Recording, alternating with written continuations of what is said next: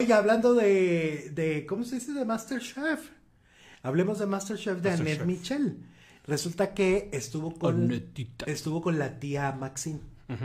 Y le preguntó la tía Maxine, pues que qué tal, que cómo, cómo había cerrado su ciclo en TV Azteca. ¿Y qué crees? ¿Qué dijo? Ahí la vas a escuchar. Estuviste muchos Sí, años por ahí. supuesto que sí. Extraño, e- e- es un proyecto precioso, siempre lo he dicho. Le voy a agradecer siempre a la vida haber tenido la oportunidad de, de estar ahí, de ser yo quien, quien fuera la conductora de ese programa. Eh, me llevo grandes amigos, millones de anécdotas, viajes por muchas partes, eh, conocimientos enormes de la gastronomía, eh, eh, hermandades que, que- que van a estar ahí por siempre.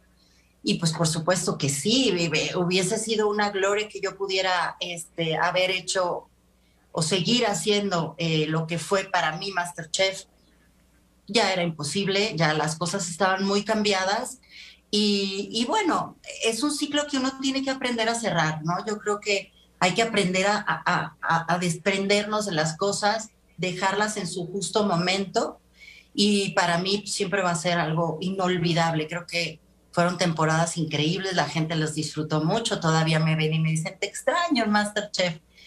Pero, pero creo que, que se cerró el ciclo cuando tenía que cerrarse para mí.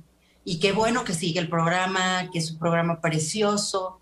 Sé que ahora van a ser niños, casi me da un infarto porque yo amo a los niños. Yo gozaba muchísimo de esos Masterchef con los chaparritos. Tengo muy buena química con, con los niños. Y mm, soy súper maternal, Maxim, la verdad. Soy maternal con todo Ajá. el mundo, con mis compañeros, con mis amigos, con mi familia, con, con todos. Entonces, esa, esa parte sí fue así de, ay, me hubiera encantado. Yo, yo no sabes cuántas veces supliqué porque dejaran de hacer adultos, adultos, adultos, adultos, adultos y que hicieran niños o lo que hicieron de celebridades, o sea, hacer algo diferente, ¿no? Sí. Oye, pero saliste en buenos términos de Azteca, porque fueron también Eh, muchos con- años allá. Sí, bueno, toda mi carrera, 26 casi.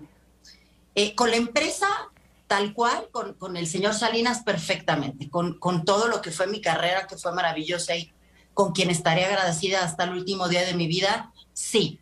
Eh, con la gente que está manejando eh, en este momento la, la producción, no.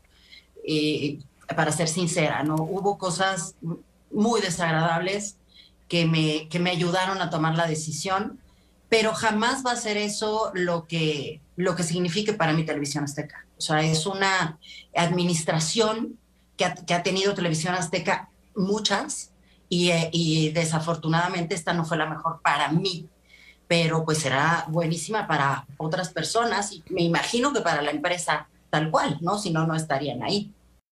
O, o, mm, a ver, entonces dice Annette Michel, es lo que está diciendo textualmente en, esta, en este audio que escuchamos. Ella dice que con Salinas Pliego todo bien, pero que con la administración actual, pues todo mal. O sea, con el hijo de Salinas Pliego. No, él ya no está. Ya no. No, se está refiriendo a Sandres Mester.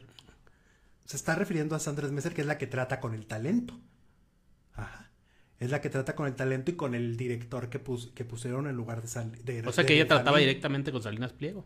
¿Eh? Ella trataba directamente con Salinas No, ya no. A ver, hace años todo el mundo trataba, eh, cuando, o sea, los- no todo el mundo, pero los, los estelares, los famosos, con Salinas Pliego. A eso me refiero, en, Ajá. sus, en sus tiempos, En pues. sus tiempos todo bien con él, dice, ¿no? Pero luego vino Benjamín Salinas y hablaban con él. Pero ahora hay otro direct, a otro, otro eh, ejecutivo en lugar de Benjamín Salinas. Y está Sandres Mester. Entonces, y cambiaron los productores de Masterchef. No son los mismos, cambiaron. Entonces, cuando ellas, a mí lo que me sorprende un poco es cuando dice que pasaron cosas muy desagradables. ¿Qué cosas? O sea, ¿a qué le llama cosas desagradables? ¿Qué realmente sucedió? Yo sí creo que, que Annette era una de las consentidas de, de TV Azteca y también tenía una eh, eh, confianza extra, extra. Es decir, sí llegó a hacer cosas en la posición en la que estaba. O sea, llegó a correr gente, llegó a portarse prepotente y eso también genera enemigos.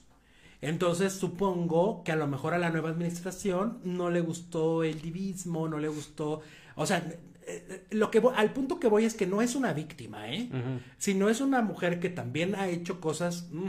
Lo que pasa es, ¿sabes qué pasa? Que, siempre los que dan la cara y hablan con los medios y a los que buscan son a los famosos, a los conductores. Ajá. Por eso nada más tenemos la versión de ellos, pero nunca van con un productor, con un ejecutivo. Con Sandra. A entrevistarlos, a, a ver qué pasó realmente. Entonces nos quedamos con la versión que nos dan los famosos, ¿no? Exacto, y si ahorita la gente va a decir, ay, qué feos que se portaron con Anet así, porque tú ves a Anet, tú le tienes cariño a Anet Claro. como espectador, pero también los ejecutivos, pues no es que sean perversos siempre o que sean malos, sino también tienen sus razones.